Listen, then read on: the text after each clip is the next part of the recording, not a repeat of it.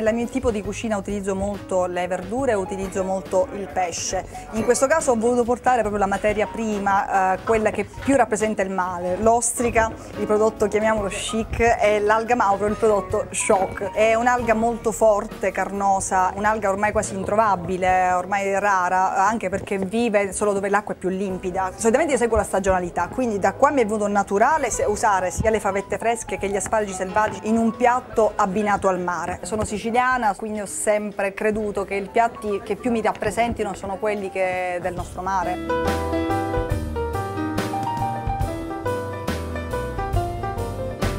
È molto facile utilizzare i vostri prodotti, nel senso che quando si parla di prodotti mediterranei la Sicilia è sicuramente la regina di questa filosofia sia di cucina che di, che di, vita. Qui abbiamo messo la mandorla d'avola, abbiamo messo la tecnica del, del pane saporito con le erbette, l'oliva nocellara, siamo cugini per cui le cose sono successe quasi contemporaneamente, fermo restando che la Sicilia rimane comunque una terra con delle peculiarità e delle autenticità più spiccate. Il piatto è appunto una zuppa di olive nocellara del Belice con il pesce spatola. Alla base c'è una crema di finocchi per dare questa mineralità, questa avvolgenza. E al centro invece mettiamo questa emulsione di mandorle e acqua minerale proprio per dare un'ulteriore cremosità, ma questa volta più giocata sul tono della dolcezza. Quindi un piatto eh, dinamico con tanti picchi, con tante diverse sfumature.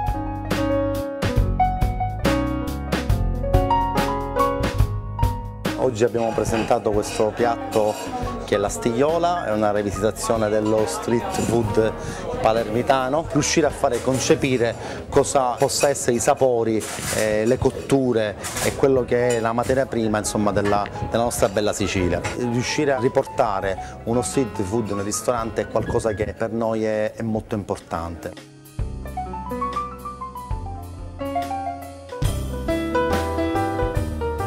Il piatto nasce dalla rivisitazione del tiramisù, ci tenevo a far vedere alle persone eh, cosa significa mangiare bene e sano, eh, perché noi siamo per la qualità dei prodotti, eh, per le cose che fanno bene e non male. Nasce eh, anche da un fatto di poter spiegare che è molto importante per chi fa questo mestiere conoscere le basi della pasticceria italiana che molte persone purtroppo sconoscono.